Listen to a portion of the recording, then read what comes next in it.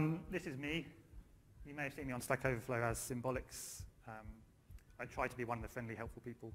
Um, a lot of people are put off, but I try to help out. Um, two of my packages on there, googleway, which is an interface to Google Maps from R. Um, there's one image that's not rendered, actually, this one here. That's googlePolylines, and it's a way to make polylines out of uh, coordinates. And geojsonsf, which converts between GeoJSON and SF objects. So in the spirit of not letting your content get in the way of a good GIF, remember as a kid when you're told to aim high and, and just go for it, and then you try, apply, you, get it, you try to apply that to your everyday life, and sometimes it doesn't quite work out. Um, so like you have a, a, good idea for an app or something you want to build, and you go out, grab all the data you can, you do your manipulations, and then you press plot. And you end up with a blank screen. And you wait. And you wait a bit longer. And you think, should something be happening? Is it crashed? Why is it not fallen apart? Do I crash out? How long do I wait? This is quite a common scenario for me, um, but it shouldn't be, because I should have learned by now. But in this example, I'm trying to plot all the postcodes in Australia, which is about just over 300,000 on, onto a map. And your browser and your renderer doesn't like it. It just can't handle all that data. So in this example, what's the solution? Um, but that's a, that's a genuine question. I don't have the answer to that. I'm hoping someone else here does. How do you plot thousands and thousands of, of images on a map. Anyone? Um, I, I, may have a, a, way to go, sorry, is that echoey, a potential solution, where I've been experimenting with, is that better? Experimenting with, with uh, WebGL technologies, which is GPU-based technologies for, for, plotting maps. Um, in this example, there are 3 million circles on the Google map. And it renders quick, but it doesn't flow very smoothly, um, but at least it renders. And I think it's the way to go, but I don't have it fully working yet, and this is just a prototype. Um, but I'm, I'm going to try and get there with that. But given what we can't do, what can we do?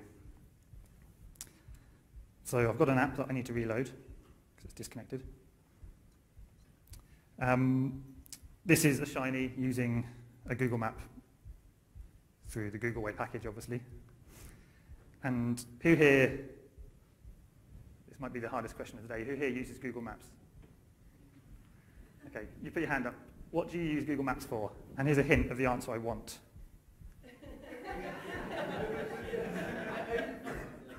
yep. Navigations, yes, and directions. Yeah.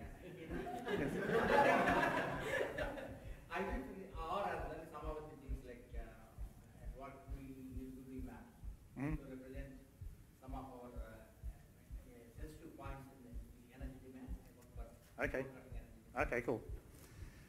So that was a bit more detailed answer than I wanted, but direct, he got there with directions. Um, in this example, I've got three completely random addresses loaded up. I've got an origin, a destination and an intermediate waypoint.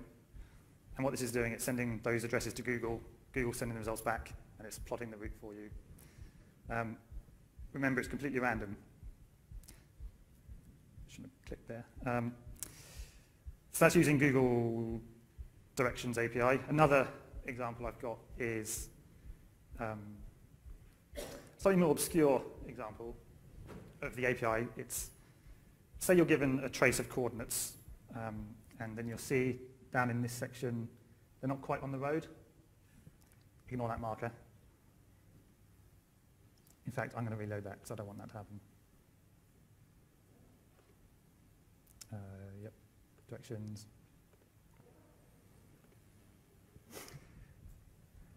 Google has this function called snap to roads, which will take your coordinates and put, plot them towards the nearest road which is a nice handy little um, feature, I think. So those two examples show how you can interact with Google's API and get data back into your Shiny.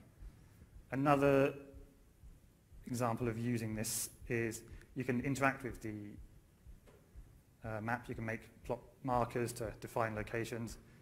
And trust me, these are, again, completely random.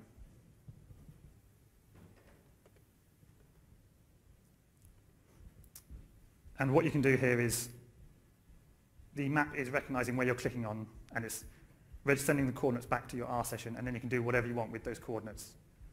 Uh, in this case, I'm just going to connect them up with a line. And similarly, as well as markers, you can... My trackpad has a habit of going straight into my trash can, so I, sometimes I click randomly and it'll go to the trash can. You can draw the line directly, and some of you may have seen already why I've chosen this particular region of Melbourne. There you go, it's gone to the trash can again. And again, that's sent the coordinates back to your R session, and it's plotted what you've just drawn on the map. And what a coincidence. Definitely didn't plan that. Okay, clear the map. Um, but why am I really here? trying to plot spatial data on a map. What I'm doing here now is loading in a shapefile, which is all the, it's all the postcodes in Queensland, but I'm only showing you a few of them with the inner city Brisbane, because showing the whole of Queensland would take a while to render, and we'll get that white screen, and you'll all leave, and I'll cry. Now, I mean, there's not, nothing special here. If you've used Leaflet, then I designed googleway to work in pretty much the same way. You just define your add polygons function, then you set all your options, and then the map just works. Um, one thing I like, I don't know if you will, but I like this mouse over group option, which is when you hover the mouse over, it will highlight the group that you've defined. And in this case, it's colored by the type of postcode, the, the residential uh, or parkland, whatever. So we've got some data behind our map. We can interact with the map, therefore we can interact with the data.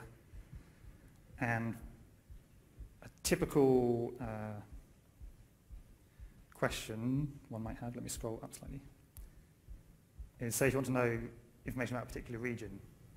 So can I get a, someone from the audience shout out somewhere in Queensland? Gold Coast. And because this is Google, we get all of Google's database behind it. And it sent the request to Google, it's got the coordinates back, and it's wherever Google said the Gold Coast was, it's given us that polygon surrounding that point. So it's done.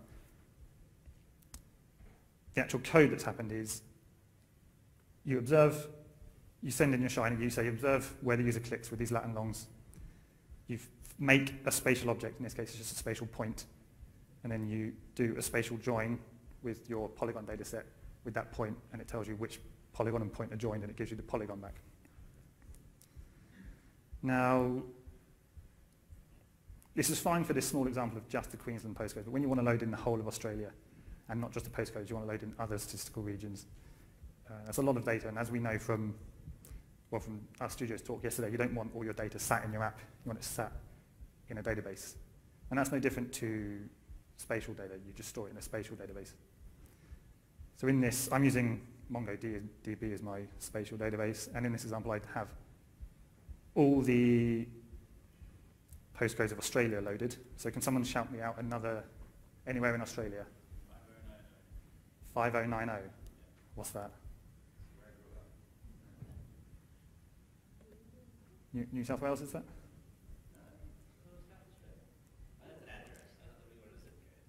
Anyway, uh, well, it doesn't matter. Here's an example. for, for now, you grew up here, okay?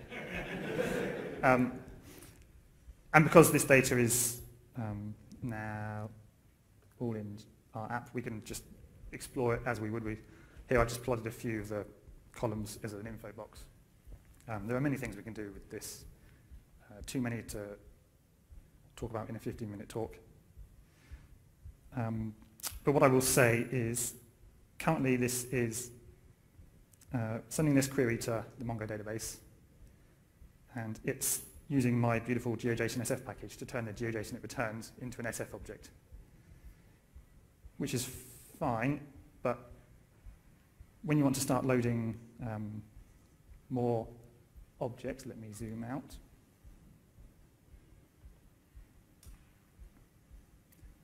Uh, clear the map. Trash can. Uh, I'll get rid of this. Say you want to draw a similar thing. I'm going to draw a circle on the map. It's going to send a query to Mongo database to get all the polygons which intersect with that circle I've just drawn. And you see a query running in the bottom right corner. Because we're asking for more data, it's obviously going to take slightly longer. And there we go, we've plotted all the... Uh, these aren't actually postcodes, I got that wrong. These are a, a bit slightly bigger region. It's called statistical area 2, actually, if you're familiar with the data set. Um, now, that took six seconds to run, which actually is quite good, and I expected it to take about 15 seconds. So if this next example takes six seconds, then ignore this part of the talk. Because my point is, you can return the whole SF object, or you can return these uh, polylines. So if I'm going to do the same query again, but using returning polylines, roughly get the same area. Yeah, it's going to be about six seconds. Five seconds, it's a second quicker. My point stands. Um, when I was testing this, it took 15 seconds to return the SF object and then four seconds to return these uh, polylines. Now the point of a polyline is it's an encoding of a spatial object, of, a, of coordinates actually. So in this example I've got lon and lat coordinates. I run my encode coordinate function and it gives me this string, um, which is a smaller representation of the data. And hopefully you can see this. Here I've got, I'm reading in a simple feature object. It's a North Carolina dataset that comes with the SF package. I'm doing two encoding functions. One um, keeps all the attributes, one strips off all the attributes. And then here you can see the relative sizes of all those objects. And the encoded objects are much smaller than the simple feature object. And the nice thing is this polyline encoding is an algorithm designed by Google, and their maps natively support this. So you can just plot that polyline, and the map will plot it for you. Um, and what another trick I do is this is the spatial information stored in the database. It's GeoJSON, if anyone's familiar with GeoJSON. And as well as the coordinate information, I also store that encoded polyline so that I can query it on the coordinates but only return that polyline. So I'm returning much less data into my R session.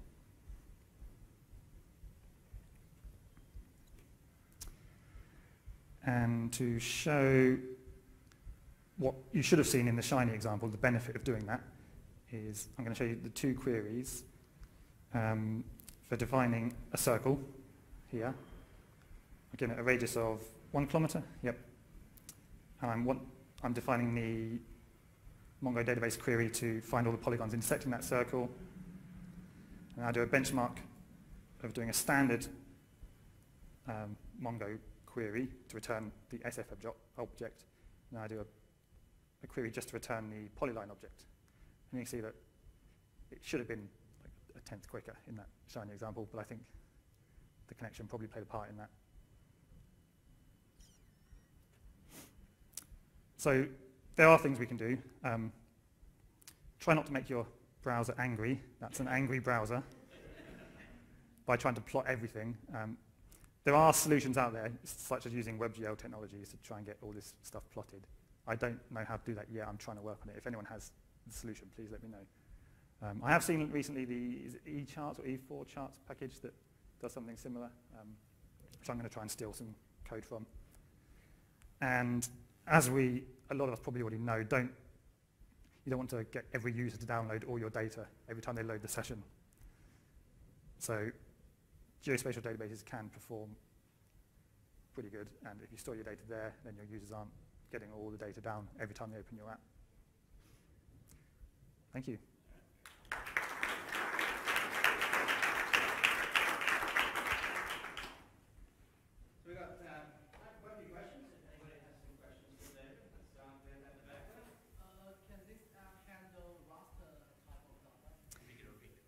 The, the question is, can this app handle raster data? Um, not at the moment.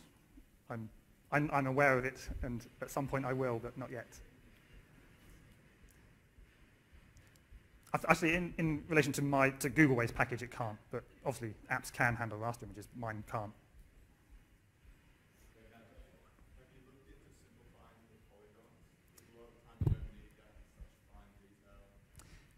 Uh, yes, the question is, have I looked into simplifying the polygons? Um, yes, absolutely.